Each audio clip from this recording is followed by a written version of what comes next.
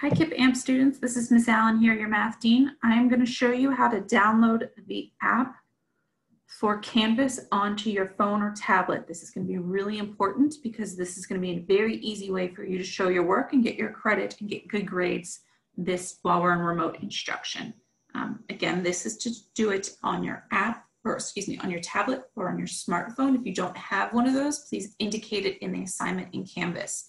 If you do have one of those, pause the video now and go grab it. If you want to use your parents' tablet or smartphone, pause for now and wait till they're available to loan it to you because I'm going to walk you through the steps. You want to have it right out in front of you. So again, pause if you need to go grab it.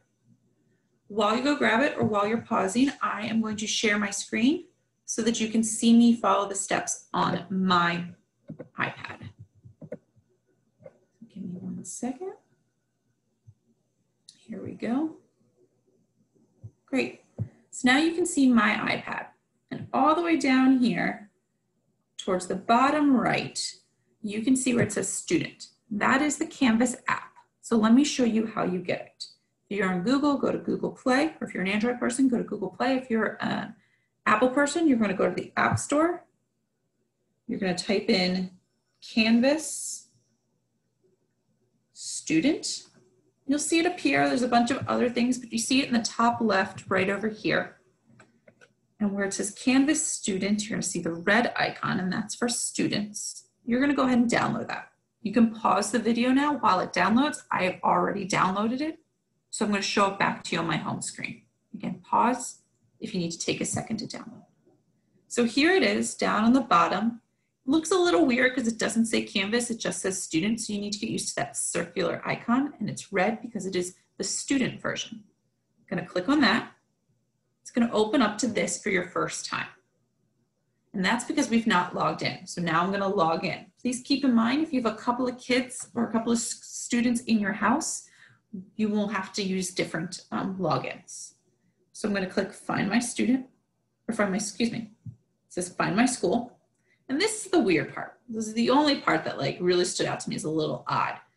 I would start typing AMP or KIPP, but that's actually not what you need to type. So I'm going to type it in for you. And then again, I'm going to prompt you to pause the video because it's a little bit weird.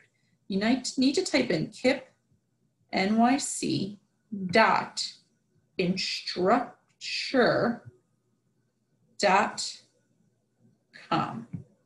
KIPP NYC dot instructure I'll put this in the assignment in Canvas for you to cut and paste if that helps, though I don't think you'll be able to do it from a computer to a tablet.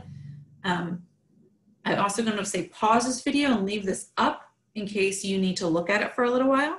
If it doesn't work, first step is to check your spelling Instructure is kind of a weird word. It's kind of like instructor, but a little bit different. But you want this to go ahead. So pause the video, type it in. Once you think you have it, press go. And if you did it right, you'll see KIPP NYC Public Schools pop up. Perfect. Now you're ready to put in your personal login information. You are a student, so you're gonna click the yellow button.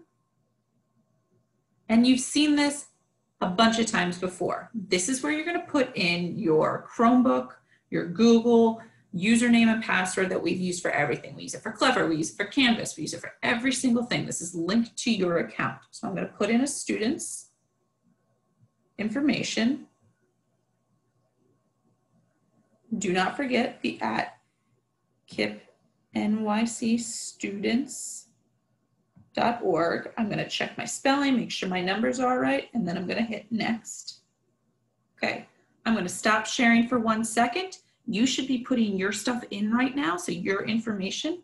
I'm gonna stop sharing and put in the student's password so you don't see it. Remember, it's important to make sure you have all the correct capital letters because passwords, capital letters matter.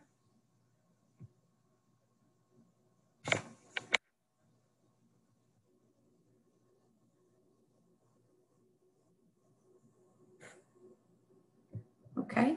If you're not done, please pause the video. I'm gonna go ahead and continue. So again, if you've not put in your information, please pause the video.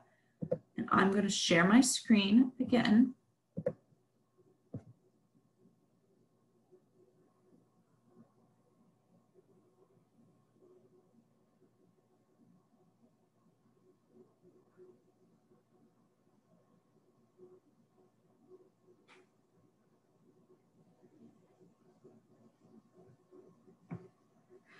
Okay, and if you did it correctly, you should be able to see all your courses. The first thing that popped up was to ask if you wanted notifications. I encourage you to allow the notifications. This way you'll know when a teacher's graded something, when you have something due, when something's coming up.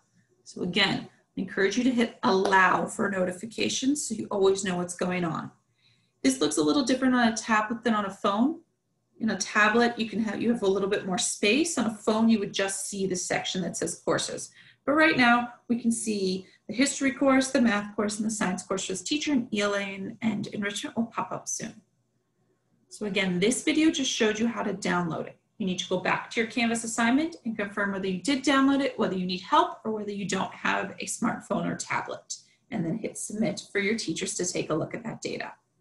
Tomorrow, I'm really excited to show you some videos on how you're gonna show your work because you're gonna need that for Friday when you have your diagnostic and had to show images of all the work you did for your very first diagnostic test.